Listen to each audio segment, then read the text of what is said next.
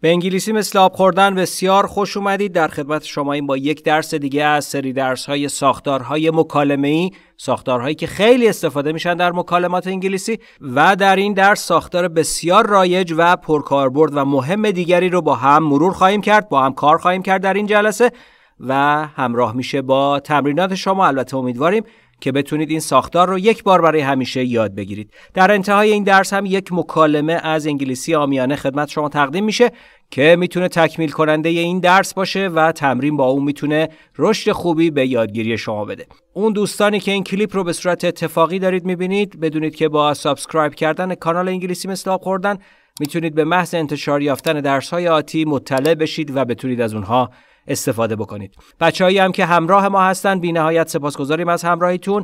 از اینکه ویدیوها رو like می‌کنید از اینکه ما رو به دیگران هم معرفی می‌کنید تا بتونیم در جهت رسالتی که داریم آموزش اینترنتی انگلیسی که سال هاست در خدمت شما هستیم بتونیم گامی به جلو برداریم. بسیار خوب بپردازیم به ساختار بسیار پر کاربرد Are you sure در انگلیسی.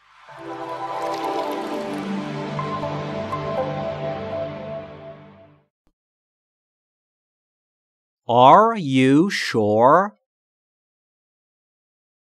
Are you sure?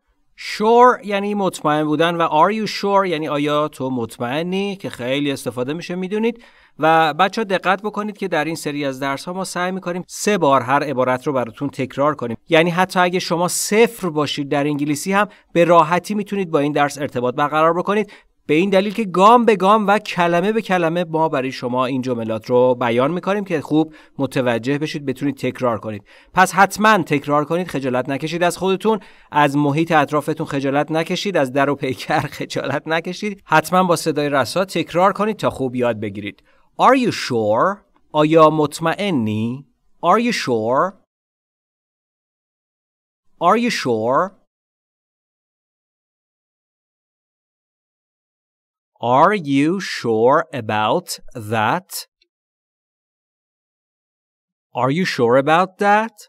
Are you sure که گفتیم یعنی آیا تو مطمئنی about در مورد that اون چیزه مثلا ما به شما میگیم که بچه ها در قسمت کامنت مثال ها رو بنویسید برای اینکه اعتماد به نفستون بره بالا. بعدش برید توی دفترچه یادداشتتون دوباره بنویسید روخانی کنید با صدای رسا تکرار کنید تا خوب یاد بگیرید. بچه ها میگید Are you sure about that? در موردش مطمئنی؟ بله عزیزم مطمئنیم. شما هر چقدر بیشتر تلاش بکنی بیشتر نتیجه می‌گیری. حال دیگه خود دانید. وظیفه ما بود که بگیم. دیگه خودت می‌دونی. می‌خوای تمرین کن می‌خوای ته کلاس چرت بزن. Are you sure about that? آیا در موردش مطمئنی؟ Are you sure about that? Are you sure about that? Are you sure of what you said? Are you sure of what you said? Are you sure آیا مطمئنی of از what you said said گذشته say what آنچه you said تو گفتی Are you sure of what you said? در مورد چیزی که گفتی مطمئنی؟ Are you sure of what you said? Are you sure of what you said? Are you sure that he is not coming? Are you sure that he is not coming? Are you sure آیا مطمئنی that که he is not coming آیا مطمئنی که او نمی آید؟ Are you sure that he is not coming? Are you sure that he is not coming? خب چند تا مثال رو با هم کار کردیم حالا بریم سراغ مکالممون همطور که دارید می‌بینید این آقاه یه ماشینی داره که خیلی داغونه و داره یه حرفایی هم می‌زنه که بله دیگه باید به جای اون حرفا بوق گذاشت که می‌بینید یه سری حرفا به این ماشینش زده حالا ببینیم که در مکالمه که این آقا با یه خانوم داره چه اتفاقاتی میفته I have had so many problems with my new car. It is driving me crazy. I've had so many problems with my new car. It's driving me crazy. I have had ساختار حال کامله یعنی من داشته ام so many problems مشکلات بسیار زیادی so many یعنی بسیار problems مشکلات with my new car با ماشین جدیدم It is driving me crazy. یعنی اون داره منو دیوانه می‌کنه. این یک اصطلاحه. Drive me crazy یعنی منو داره دیوانه می‌کنه. ماشین انقدر داغونه اوزاش داره منو دیوونه می‌کنه. پس یه اصطلاح خیلی خوبم اینجا داریم یاد می‌گیریم. می‌تونید مثلا بگید تو داری منو دیوونه می‌کنی You are driving me crazy تو داری منو دیوانه می‌کنی ببینید چه چیزهای خوبی داریم بهتون یاد میدیم فقط مواظب باشید کجا استفاده می‌کنید پیش رفیق و اینا می‌دونید که دیگه اینا رسمی نیستن I've had so many problems with my new car. It's driving me crazy. با ماشین جدیدم کلی مشکل داشتم. ماشین داره دیوانم می‌کنه. I've had so many problems with my new car. It's driving me crazy. I've had so many problems with my new car. It's driving me crazy. Are you sure you don't want to buy a new one? Are you sure you don't want to buy a new one? Are you sure؟ همون ساختاری که داریم در این درس کار می‌کنیم یعنی آیا مطمئنی؟ You don't want تو نمی‌خوای to buy که بخری a new one یه دونه جدید یعنی اینی که جدید خریدی داغونه مطمئنی که نمی‌خوای یه دونه جدید بخری Are you sure you don't want to buy a new one آیا مطمئنی نمی‌خوای یک ماشین جدید بخری؟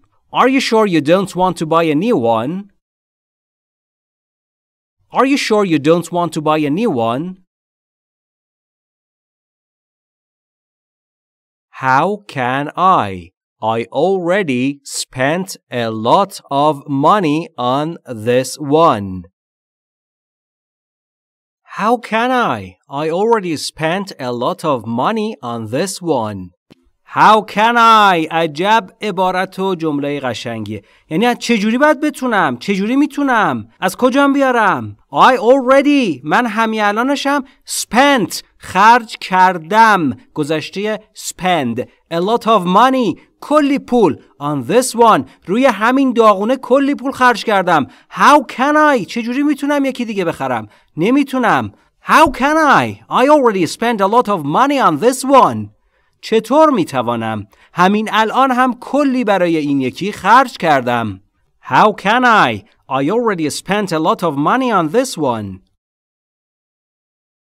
how can I I already spent a lot of money on this one I guess you will be spending a lot of money on repairs then. I guess you'll be spending a lot of money on repairs then. I guess I guess یعنی گمان کنم یا گمان می‌کنم You will be spending. ساختار آینده استمراری. به به به. یعنی فاعل به علاوه will به علاوه be به علاوه فعل در حالت ing. میشه آینده استمراری. یعنی یک کاری که در آینده در حال استمرار خواهد بود در حال انجام خواهد بود. یه مدتی رو درگیرش خواهیم بود.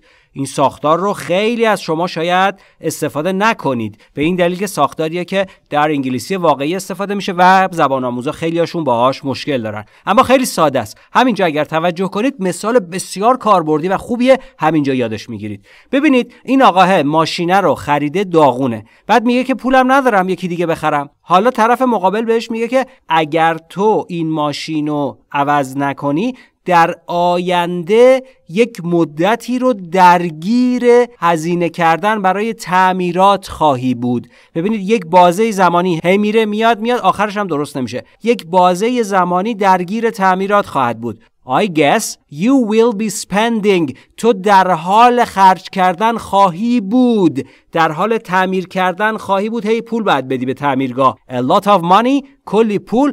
On repairs repairs یعنی تعمیرات on repairs یعنی خرج تعمیرات باید بکنی then pass آها حالا بیایم با هم یه بار بخونیم ببینیم که چی داریم I guess you will be spending a lot of money on repairs then گمان کنم پس تو در حال پرداخت کلی پول برای تعمیرش خواهی بود I guess you will be spending a lot of money on repairs then. I guess you will be spending a lot of money on repairs then.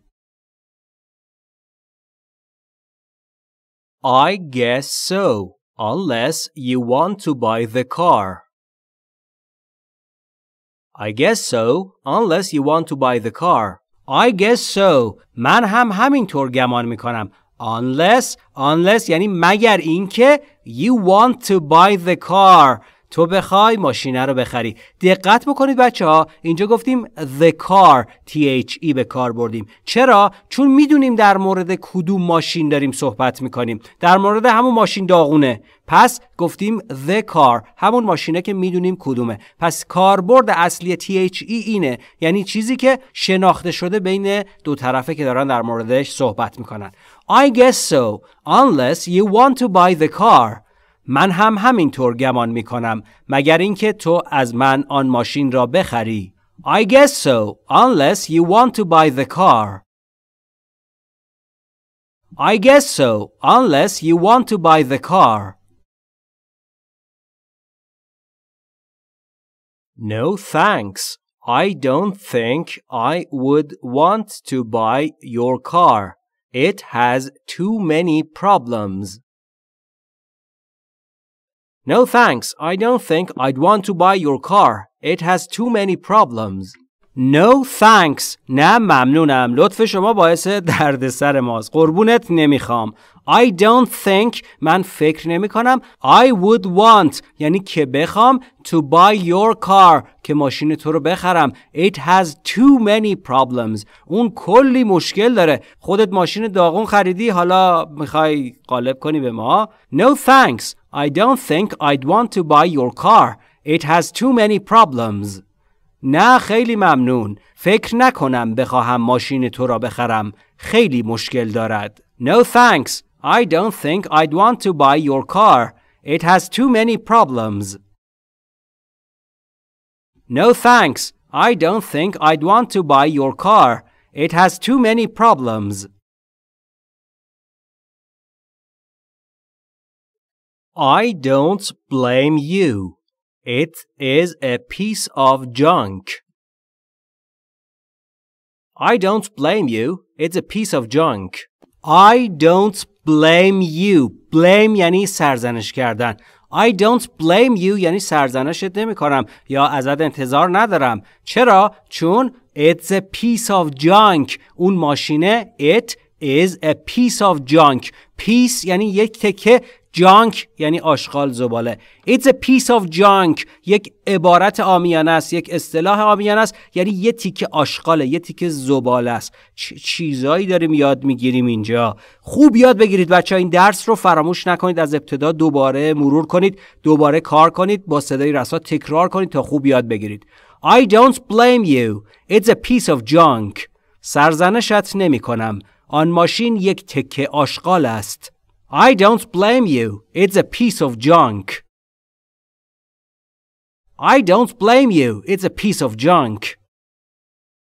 خدا قوت دم شما گرم چقدر عبارت های بیتربیتی در این درس یاد گرفتیم و بسیار سپاسگزاریم از همراهی شما عزیزان و هر حال باید یاد بگیرید بچه ها اگر می‌خواید واقعا درست و اصولی و کار درست یاد بگیرید طبق روشی که دارید مشاهده می‌کنید تمرین کنید و فراموش نکنید که روش یادگیری بسیار مهمتر است از منابع آموزشی آرزوی تندرستی، خورسندی و شادکامی براتون داریم در هر کجای دنیا که هستید.